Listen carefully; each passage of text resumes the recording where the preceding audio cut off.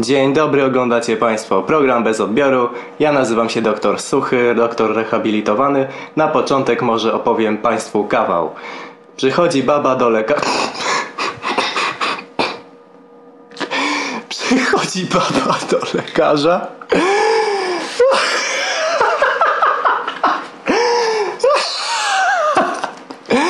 Przychodzi baba do lekarza, a lekarz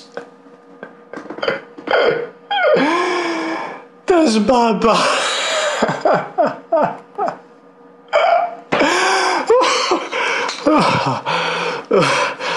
Tak. Dzwonimy dzisiaj do apteki, ponieważ przez pomyłkę zapisałem pewnej pacjentce niewłaściwy lek.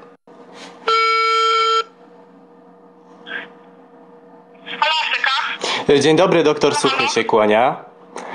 Dzień dobry, przepraszam, ale coś mi przerywa, nie słyszę pana. Halo? Halo. No, teraz cię słyszę. Super.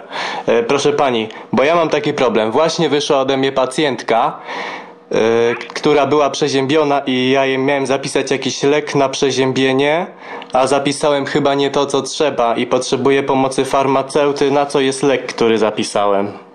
Chciałbym się dowiedzieć. Proszę powiedzieć, co pan doktor zapisał. Sildenafil. Sildenafil? Sildenafil. Bo Słyszę sildenafil, ale się chcę upewnić, czy na pewno dobrze słyszę. Tak. Dobrze pani słyszy. Sildenafil, to jest Viagra. O matko. I, a, a, co, No, to trzeba dzwonić do pacjentki koniecznie. a co by się stało, gdyby e, ona e, zażyła te leki? Znaczy, no jeżeli zażyje tam jedną tabletkę, to, no to będzie po prostu miała ochotę tak jak facet, ale yy, nie ma problemów żadnych z sercem, to się nic nie powinno stać. Ale jeżeli zażyje więcej niż jedną tabletkę, czyli na przykład jeżeli pan doktor jej powiedział trzy razy dziennie po jednej, no to będzie problem. Aha, no kurczę, bo ja teraz wyjdę na idiotę.